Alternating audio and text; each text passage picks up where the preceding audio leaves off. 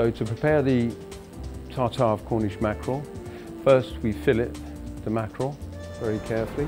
The secret of this dish is freshness and speed. It's something you can prepare a little bit in advance and then mix just before you serve it. Take out the bones,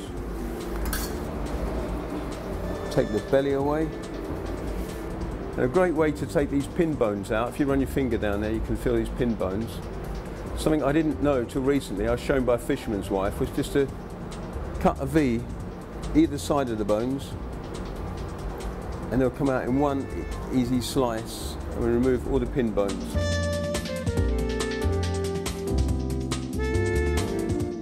After five minutes in the fridge, we'll remove the fillets, dice, probably in half centimetre uh, size. Put this into a chilled stainless steel bowl.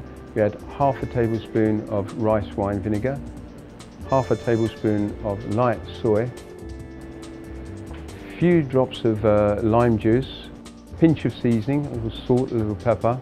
Give this a stir, a few drops of olive oil, and again this goes back into the fridge.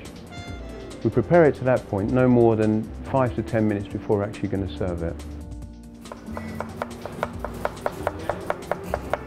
This is a nice chef's touch where we're going to make a fan of cucumber around the base of the tartare.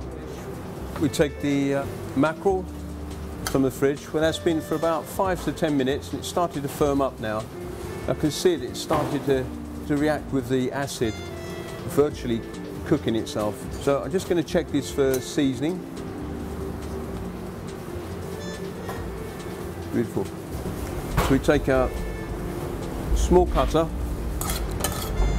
onto the cucumber and we need to press the flesh against the side of the bowl just to release the juices now. I'm going to carefully fill carefully fill the mould once it's packed, you just firm it down with the back of a spoon. Put the quail egg on top of the tartare.